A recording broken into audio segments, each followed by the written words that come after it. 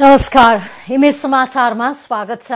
अधिकांश जिल्लामा संविधान सभा निर्वाचनको प्रत्यक्ष तर्फको मतगणना सकिएकोले अब समानुपातिक प्रणालीतर्फको मतगणना शुरू भएको छ। अहिलेसम्म गनिएका झण्डै दस लाख मतमा कंग्रेसभन्दा एमाले तेइस हजार मत अगाडि देखिएको छ।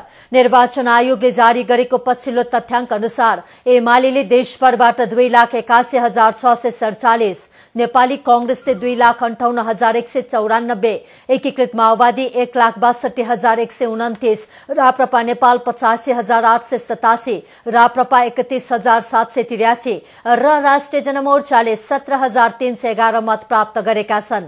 यता काठमाडौँ जिल्लामा भने राष्ट्रिय प्रजातन्त्र पार्टी नेपाल राप्रपा नेपाल पहिलो स्थानमा आएको छ। दोस्रोमा नेपाली कंग्रेस तेस्रोमा एमाले र चौथोमा एकीकृत माओवादी रहेको छ। काठमाडौँको दस क्षेत्र मध्ये चार क्षेत्रमा राष्ट्रिय प्रजातन्त्र पार्टीले प्रत्यक्षतर्फ तेस्रो स्थान हासिल गरेको छ।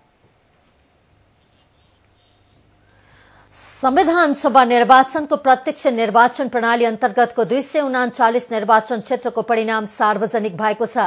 प्राप्त नतिजा अनुसार नेपाली कंग्रेस एक सय पाँच, नेकपा एकानब्बे, एकीकृत माओवादी पच्चीस, मधेसी जनअधिकार फोरम लोकतान्त्रिक चार, तराई मधेस लोकतान्त्रिक पार्टी चार, राष्ट्रिय प्रजातन्त्र पार्टी तीन, फोरम नेपाल दुई, सद्भावना एक, तराई मधेस सद्भावना पार्टी एक, नेपाल मजदूर किसान पार्टी एक र स्वतन्त्र दुई स्थानमा विजयी भएका छन्।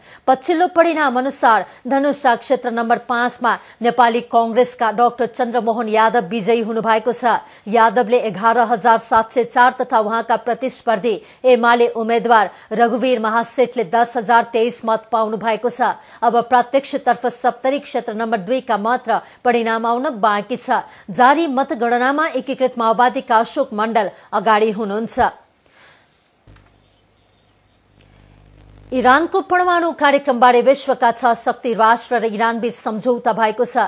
स्विजरल्याण्डको जेनेभामा पाँच दिनसम्म चलेको बहुपक्षीय वार्तामा सहमति भएपछि इरानको विवादास्पद परमाणु कार्यक्रमबारे सहमति भएको हो। इरानका विदेश मन्त्री मोहम्मद जावद जरिफले अमेरिका रूस चीन जर्मनी बेलायत र फ्रान्स सहभागी बैठकमा सहमति भएको स्वीकार्दै सम्झौताको बुँदाहरूमा केही बोल्न चाहेनन्। विश्वका छ शक्ति राष्ट्रले इरानलाई युरोनियम प्रशोधनको कार्यक्रम बन्द गर्न गर्न आग्रह गर्दै आएको थियो भने इरानले आफूमाथिको नाकाबन्दी हटाउन माग गर्दै आएको छ।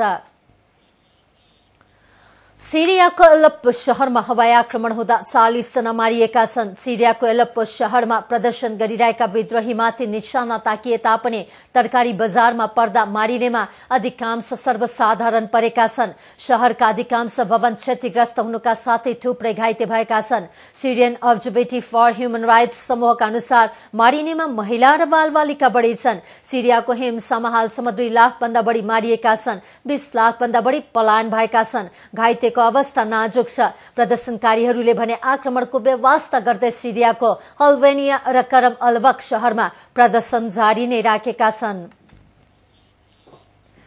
इङ्ग्लिस प्रिमियर लिग फुटबल प्रतियोगिता अन्तर्गत गए राति सम्पन्न खेलमा शीर्ष क्लबहरू आर्सनल र चेल्सी विजयी भएका छन्। तालिकाको शीर्ष स्थानमा रहेको आर्सनलले साउथ ह्याम्पटनलाई दुई शून्यले हरायो।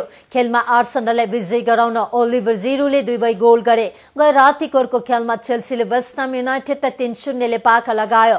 चेल्सीका लागि फ्राङ्क लम्पार्डले दुई तथा ओस्करले एक गोल गरे। गए राति भएको अर्को खेलमा लिभरपुललाई एभर्टनले तीन तीन गोलको बराबरीमा रोकेको छ। खेलमा लिभरपुलका लागि लुइस सुवारेस कोटेनो र स्टरिजले एक एक गोल गरे भने एभर्टनका रोमेलु लुकालुले दुई तथा केभिन मिरासलले एक गोल गरे रातिका अन्य खेलहरूमा स्वान्सी सिटीले फुलहमलाई दुई एकले क्रिस्टल प्यालेसले हल सिटीलाई एक शून्यले तथा न्युकासल युनाइटेडले नर्वे सिटीलाई दुई एकले तथा स्टोक सिटीले सन्डरल्यान्डलाई दुई शून्यले हराएका छन्।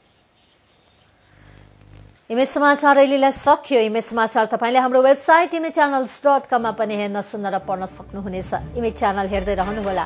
नमस्कार।